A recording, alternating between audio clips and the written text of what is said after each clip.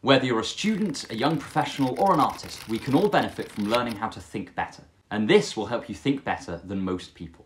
Here you'll learn the basics of propositional logic, the simplest logical language. It will help you in your studies, it will help you navigate the world more easily, and it will help you find some order amongst all the Twitter shouting matches. The most basic unit in propositional logic is, unsurprisingly, the proposition. These are simple sentences about the world. The sky is blue is a proposition, as is Tim's granny is good looking, and the world will end tomorrow. There are sentences which aren't propositions. Exclamations like, oh no, and orders like, shoot that puppy, are not propositions, since they're not saying anything about the world, but serve different linguistic functions. We symbolise propositions as letters of the alphabet, like A, B, C, etc. Then we have connectives.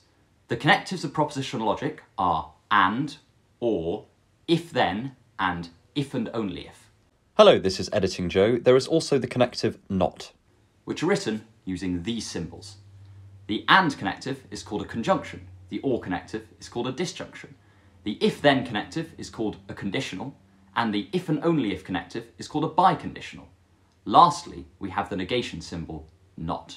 These connectives are used to link the propositions together, a conjunction, A and B, claims that both A and B are true. A disjunction claims that one or both of A and B are true. A conditional claims that either A is false or B is true, and a biconditional claims that if A then B and if B then A are both true. Finally, not A unsurprisingly means that A is not true, or, as it is known to most people, A is false. So, the sentence A and B is only true if both A and B are true, and so on and so forth. We can use this language to formalise arguments in the wild. For instance, take a hot topic argument like euthanasia should be banned because the taking of a human life under any circumstances should be illegal.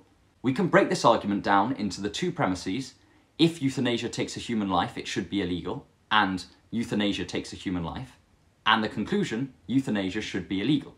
We can then assign the proposition, euthanasia takes a human life, the letter A, and euthanasia should be illegal, the letter B. We can then formalise the argument as A implies B, A, therefore B. But why do this? Well, this immediately tells you the structure of someone's argument, and presents avenues for questioning. Here you could question whether the proposition A is actually true, or you might question whether A implies B is true by giving examples of when we consider taking a human life to be justified. This is actually what advocates of euthanasia normally do. They question whether taking a human life should be illegal if that human life wants to be taken. Now you know why that argumentative strategy makes sense. This is the magic of formalising an argument. It shows you which parts of the argument are worth questioning and which parts are solid. In the above example, there would actually be no point questioning whether A is true, because euthanasia definitely involves someone dying. So questioning whether if A then B is true is a much better strategy. Of course, this is a simple example. Sometimes you'll find that arguments have lots of premises and even might have more than one conclusion.